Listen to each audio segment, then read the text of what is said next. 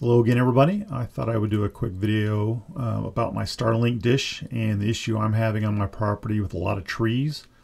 I've had a lot of comments from people on my previous video so I thought I would do a little bit more in-depth uh, conversation on how it's going for me. Um, I did take some additional video of really the challenges I have on my property. As you can see I have a lot of mature trees, a lot of height, um, not a lot of space uh, to get a signal up and around these so the biggest challenge was to find the spot and I ended up taking the roof of a garage that I had built here recently and that's where I cleared out the most trees. But as you can tell they're surrounding the perimeter of that particular area and I've received a lot of uh, messages and, and uh, comments by people who are dealing with similar circumstances on their property. So um, I thought I'd give you a quick video of just everything that I'm dealing with and I'm sure you all have some similar maybe hopefully better, but maybe worse situation than I'm in. Um, you can tell I've actually marked some trees that may be uh, cut down in the future. I haven't made that call yet. I, I don't. I wanted to lose as few trees as possible, but I did tag some tall ones that are pretty close to my building and close to my dish. Um, and I'm going to show a couple different views here on on just how much clearance I have. Um, as we know, the, the satellites kind of crisscross as they come across, and the, and the dish jumps from one to the other. So here's my um, app, and uh, it's kind of hard to see. It's on the side, but the, all those are typically to the west of me, and they're just along the fringe of um, of the app, saying, "Hey, you got a little bit of obstruction down there."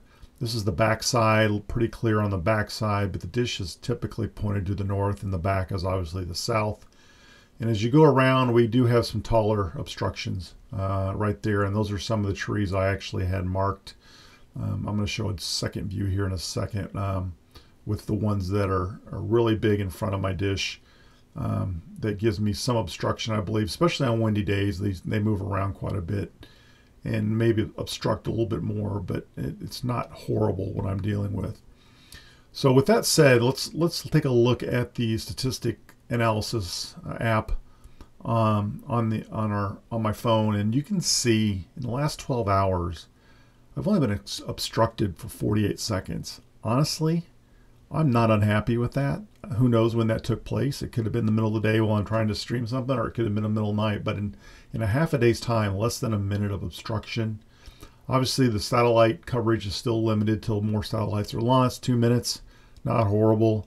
And then the other obstruction, which um, it could be anything. It could be software updates that they're working on the beta. It could be something unrelated to anything that we're doing on our end. So again, I'm ecstatic and you can watch my previous video uh, where I actually saw my other options, which was either a hotspot or HughesNet. Um, I've since canceled HughesNet altogether. Um, so the situation I have now is tenfold, if not a hundredfold better than I had before. So I'm optimistic it's going to get better as time goes on. And uh, so far, I am 100% recommending Starlink. So thanks for watching, and I'll catch you all again in the future.